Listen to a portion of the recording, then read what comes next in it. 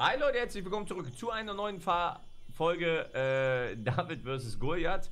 Ähm, ja, mit dem äh, Freezy, Julian, ähm, Manu, Daniel, Domme, Falco, Manu, Michael, Mika, Rainer, Robby, Axel und David.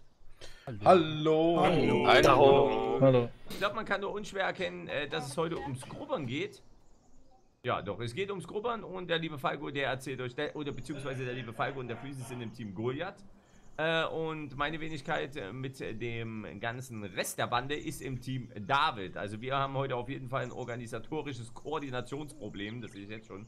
Aber der Falco erzählt euch erstmal, um was es geht. Und wir düsen schon mal zum Feld 1, würde ich sagen. Genau, heute geht es halt ums? Grubbern. Im Endeffekt grubbern wir mit 36 Meter Arbeitsbreite und 15 km/h. Im Team Goliath sieht es so aus, dass wir mit zwei New Holland T9 565 unterwegs sind, mit 550 PS, 40 km/h Spitzengeschwindigkeit. Dahinter hängen zwei oder jeweils ein Bettner Swifter SM 1800, die, wie gesagt, zusammen auf die 36 Meter kommen mit 15 km/h Arbeitsgeschwindigkeit.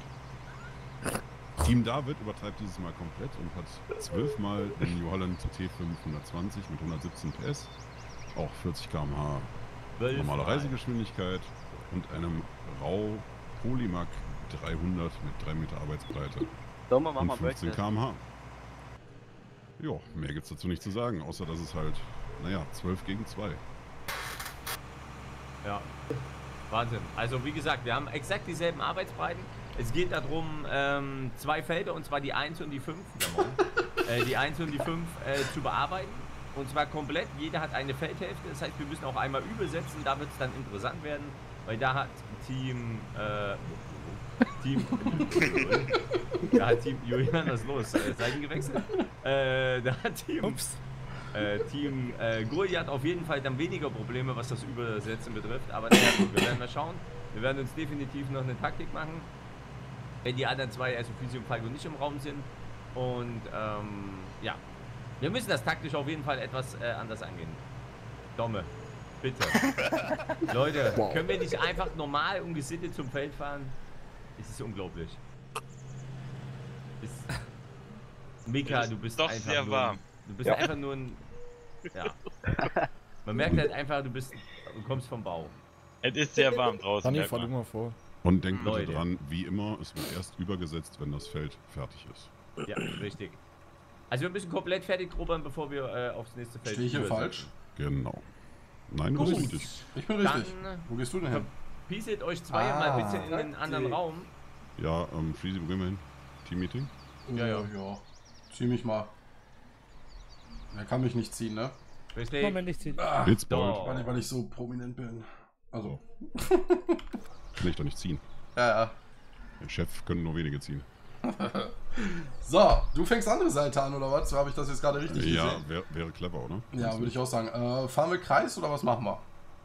Ähm, na, ich würde eher hoch runter sagen. Echt jetzt? Weil, weil Kreis ist zu, zu viel Umsetzerei, oder? Weil du hast einen relativ kleinen Wendekreis mit dem T9. Ich hab's gerade gemerkt. Ja, Der ist schon ziemlich, ziemlich aggressiv. ja. Ja gut, nee, dann machen wir äh, hoch runter. Damit kennt sich ja aus.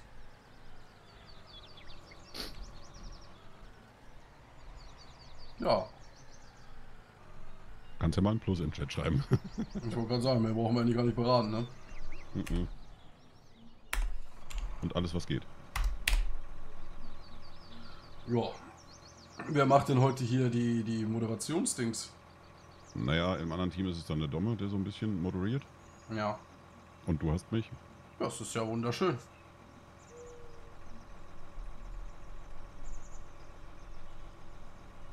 Das ist ja wunderschön.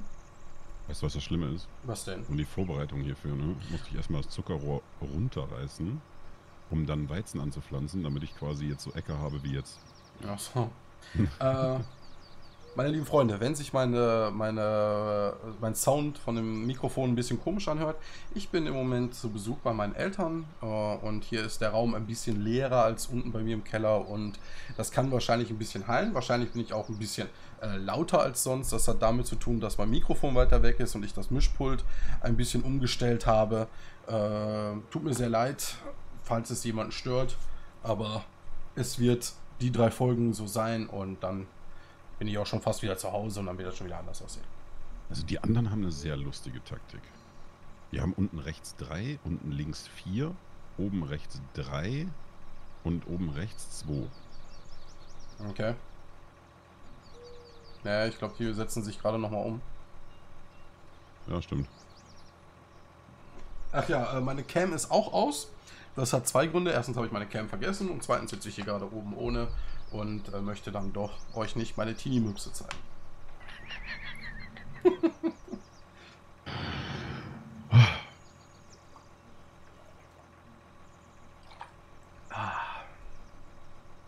Alles für die Quoten. Alles für die Quoten, Junge. Die Folge nenne ich Teenie-Möpse in Action. Clickbait ist incoming. Ja.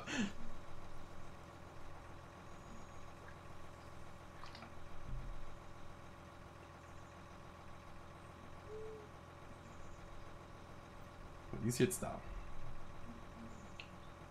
Ah, okay, die, die Mhm. äh, machen auf jeden Fall mit drei Leuten von jeder Ecke aus, Ja. die quasi an im Kreis.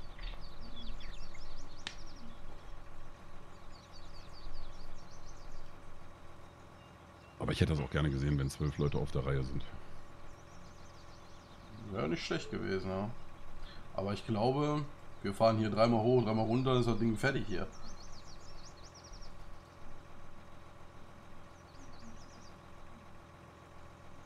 Werden sehen. Wir werden sehen. Vielleicht wird es ja anders. Grober hast du schon gesenkt? Probe habe ich schon gesenkt. Okay.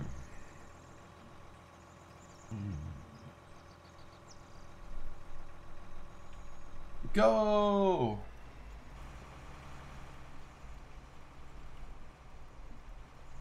Mein Gott. Der hat aber mal Power, ey. Klar. Jetzt zieht das Ding 505 hier. Space.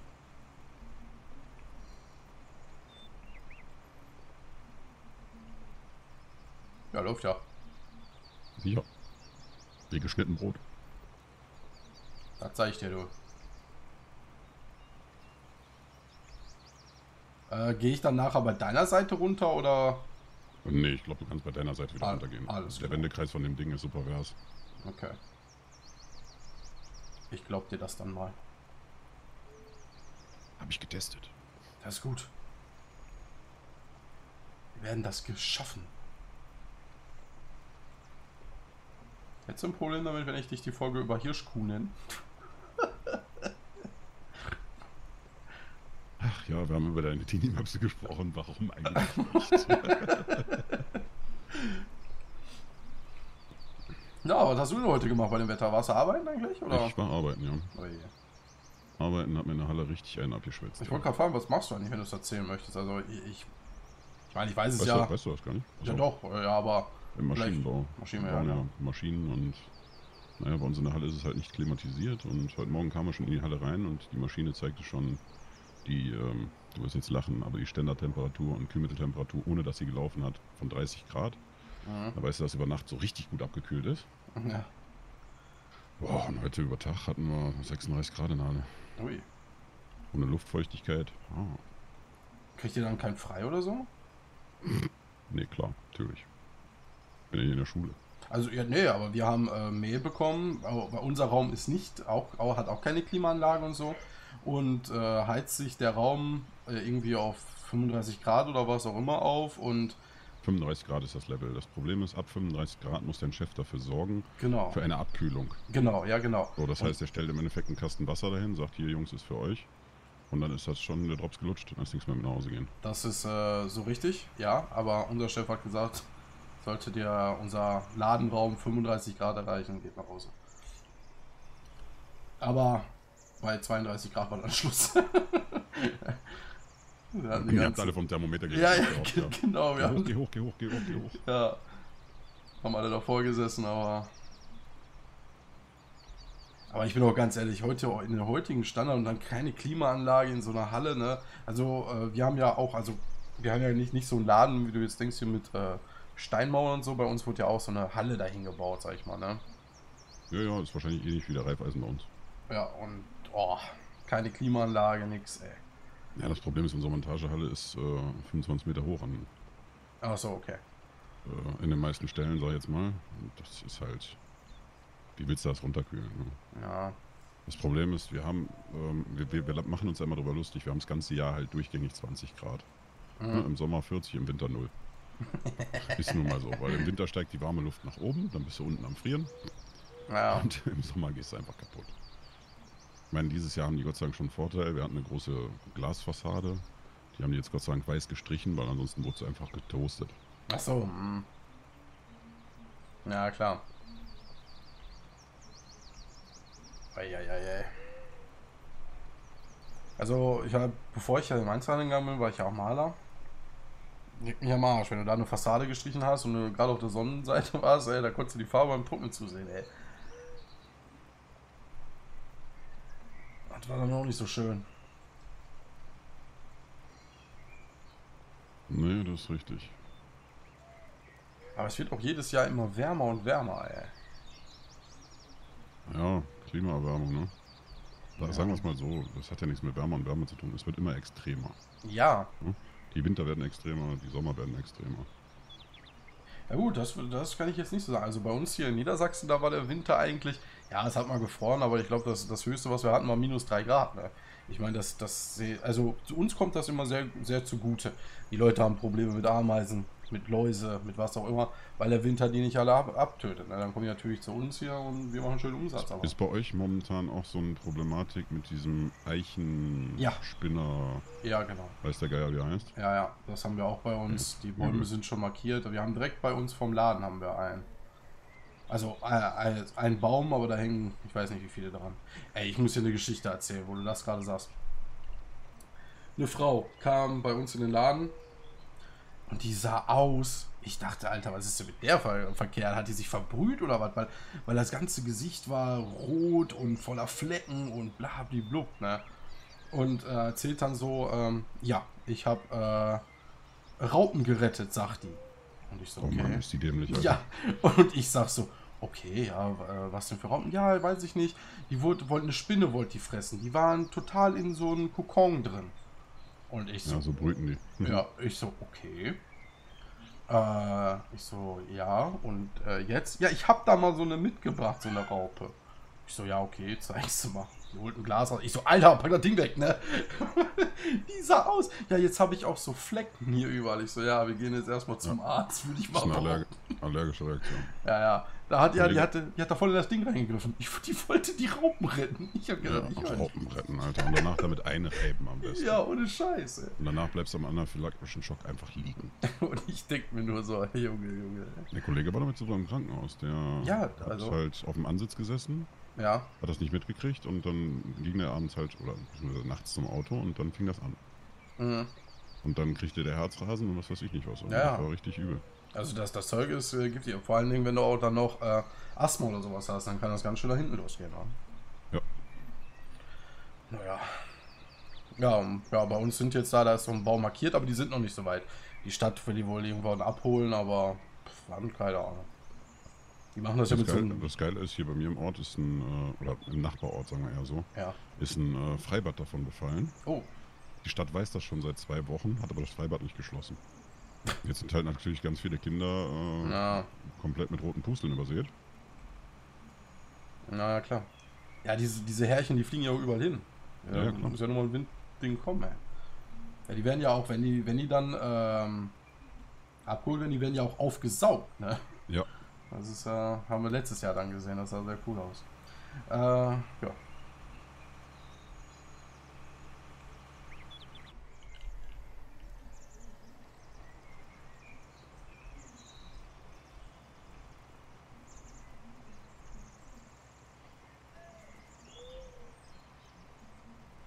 Das sieht ganz gut aus für uns, Falco, oder? Äh, mh, würde ich nicht sagen. Hä? Das kannst du bei den anderen bloß schwer sehen. Ich Okay. glaube, das sieht relativ gleich standardmäßig aus. Nein. Werden wir sehen, wenn es soweit ist. Genau, das sehen wir beim Übersetzen.